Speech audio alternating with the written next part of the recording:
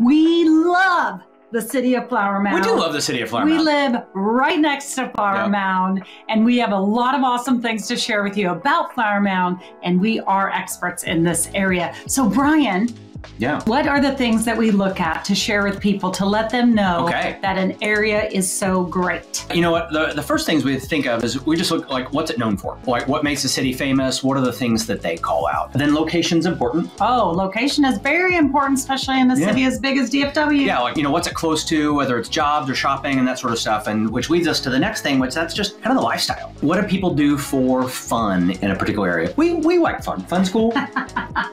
Fun's kind of well, she does. She does. I'm, I'm, Yeah, I'm- yeah, you like business, real estate. I like fun. I'm, Okay. I'm, I, I can be a little stiff. Let's let's just let's just call it what it is. But we do look at that, and that's important. You know, we also look at churches. What are the other uh, schools? What what are the other things going on? And then the last thing that we talk about for each and every city is real estate. Oh, we have to know about the real estate. That's what we're here for. And you're thinking about moving to Flower Mound, which is awesome. Uh, Ah. before we get too far into that, though, we do want to talk about um, if you are moving to Dallas, then be sure to get our guide. Uh, we put together a guide that's going to answer all your questions. You can get it at shocking of all places, moving to DallasGuide.com. Yeah. Let's talk a little bit about what it's known for. Okay. Uh, it, it is kind of a funny name of a city, right? Flower Mound. Well, so and it's actually known for the flower mound. A, uh, there, there is actually a mound that's covered in flowers. It's a cool small town feel. You know, there are actually 76. I, I say small town, but there are actually 76,000 people in Flower Mound. Yeah, I mean that's that's relatively a small town for. It's, it's small compared to like Dallas. of course, you know they've gotten some amazing awards though. They, uh, they've gotten some amazing awards. Yeah. So Flower Mound is actually just named. They've just won a couple of big time awards this year. They were named the number four place to live in the country. In the country, In the country by by Money Magazine. Yeah, absolutely. So that right there makes it an awesome place to live. So they looked at job growth in the area. They looked at the high schools and their graduation rate. They looked at, you know, booming restaurant district, which is one of the restaurant districts in the area. So they looked at all of those things in terms of affordability, economic growth, and quality of life. So Flower Mound's got all of those things going for it. And you, they could see that right there. They- huh? So they you can can see find that, that, yeah. on Flower Mound's website, which is actually very nice. They're the number one best suburb uh, to buy a house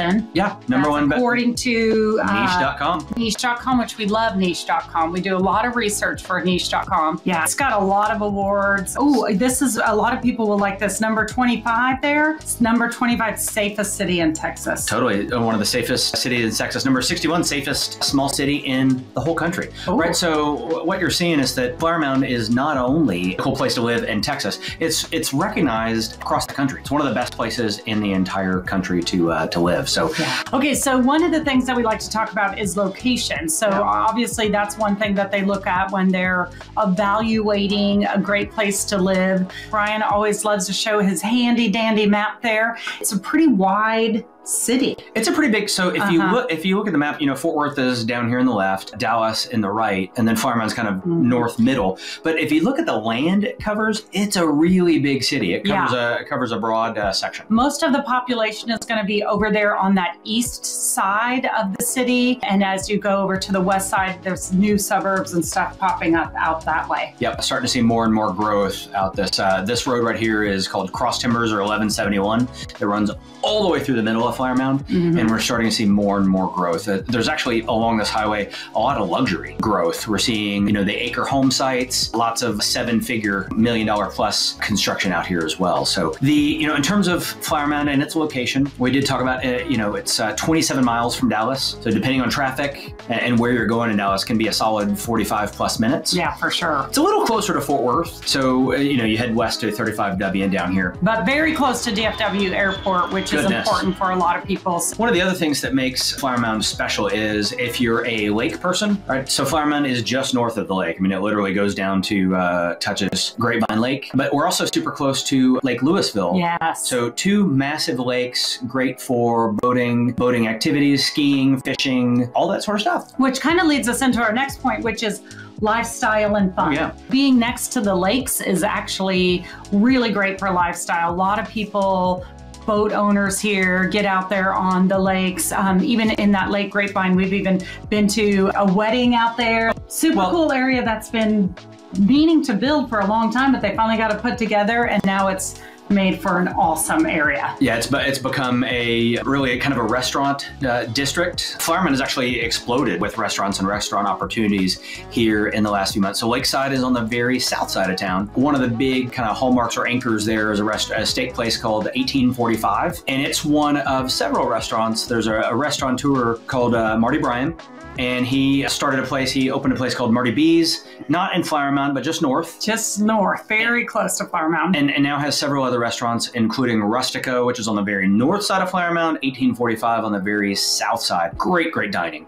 Um, Rustico is actually right across the street from another place in uh, North Flower Mound called Giro. No, G- no, called Giro Pizza. Giro Pizza, and that's Trattoria. right. Yes. Yes, get that straight there. Fantastic Italian food. awesome. Um, and if you're going, actually, you should check out our uh, you should ask for Dylan. our, our, our, son Dylan is a uh, is a server there. Hey, but listen, you know what? One of the things that really people look for, and this is small town, and so these are actually locally owned yeah, restaurants. Right. They're small, locally owned restaurants. You're not going to find them anywhere else, and that brings just something that people really enjoy about Flower Mound. There's also restaurants that border Flower Mound yep. that are locally owned as well. They're Verfs and then Shoal Creek yeah. are also locally owned restaurants just, just on just the outskirts of Flower Mound. Of Flower Mound absolutely. So there's a lot of great restaurants.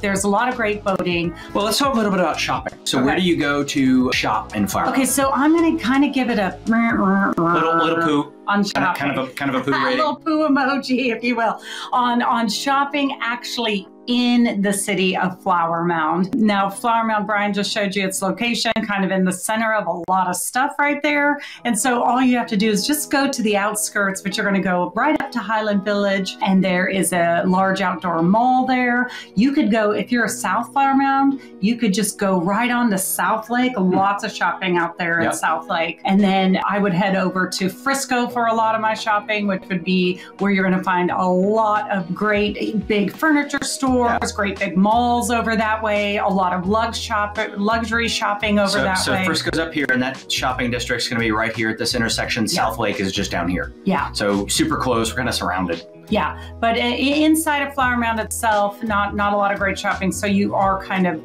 uh, leaving the city for a great shopping experience. You know, a lot of people are looking for uh, for great wine bars, great wine spots.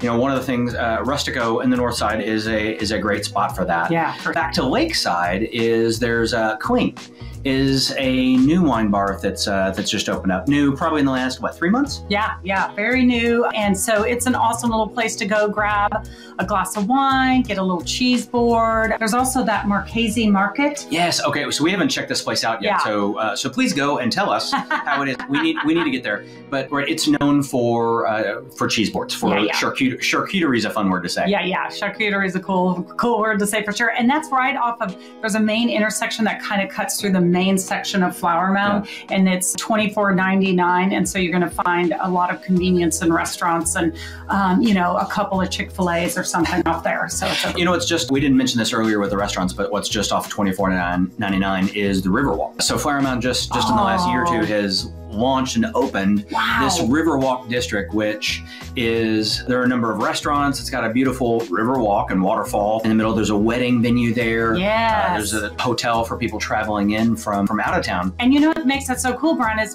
Flower Mound really didn't have like hotels, like yeah. many places to stay at all. So they've been working and developing this actually for years. They put housing out there, townhomes, a really great, really great place to live and to visit for sure. We even went to a large festival there this past summer yeah. where they had, they released a bunch of ducks, they had a big duck derby out there. So just a lot of fun things to do, a lot of things that are family friendly out there. Tons of parks as well in Flower Mound. Yeah, one of the other things that, that's come to the Riverwalk into Lakeside is more of a townhome uh, situation. So there's a lot more multifamily owned. Yeah. So that creates walkability to restaurants and dining and that sort of thing. So that's not that's also not something that Flower Mound had, and uh, it's been a great addition. Yeah, it's, it's really adding to the community. Just I'll mention a few things that are really good are the Gaylord Texan. If you've ever been to a Gaylord resort, they're absolutely fabulous. We just stayed in one in Tennessee that was amazing. So there is a Gaylord here. It has a big water park attached to it, but Yep. right across the street Oh yeah, that Great Wolf Lodge. Great Wolf Lodge. These are in actually in Grapevine, but so close to Flower Mound. You know what so, else is good in Flower Mound? What? Golf courses. Oh, you always have to mention the I golf gotta, I gotta mention golf courses. So Uh-huh. there are a couple of great public golf courses in Flower Mound. So Bridlewood is in the middle of a terrific ma- master plan community, and then just down the road is Tour 18, which is number one. It's a beautiful, beautiful Lux neighborhood behind a gated community, and um, the the course is an homage to the best 18 holes of golf in the U.S. So Very um, cool. yeah, whether it's Pinehurst or Augusta and the Masters, just a great way to play uh, courses from all over the country and do it right here in Flower Mound. And you know what, Brian? What's fun about that is that, like you said, there's neighborhoods built around those, and that's actually getting harder and harder to Yeah, come by. Master plan communities with the golf course, harder and harder to come by for sure. So very, very unique that they have two based on the size of the community. You can do everything that you need to do in Flower Mound. Yeah. May- Maybe you gotta leave just a little bit to go to shopping, but everything else is right here, super close. absolutely. Super close. Okay, so there's also you wanna, there's great churches in There are the great area. churches. A lot of, of course, our favorite church is Valley Creek Church, which is where we attend. Yeah, but then there's other great churches. There's Rockpointe. There's the Village Church, which is just north of Flower Mound. Yeah. You know, Trietsch United Methodist is another one, and Oh, yeah. and we call those right. There are a ton of great church and church options. We call those out because we've got friends that have gone and had great faith experiences there. So would encourage you to check those out. So we need to talk about schools. Yeah, we always have to talk about schools. So important in terms of where you live.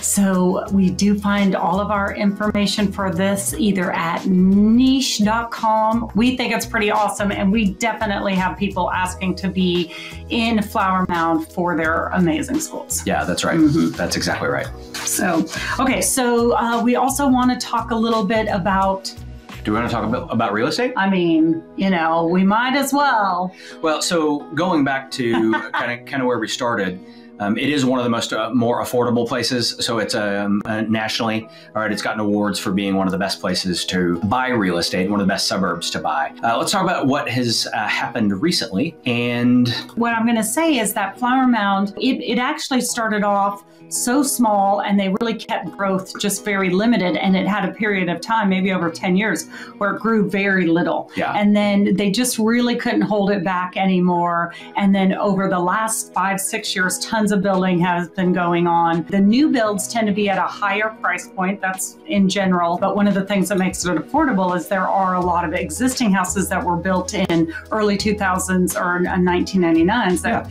are still affordable housing. Yeah, so what we're showing here is actually the, the market update from October. And so the median price is 500K.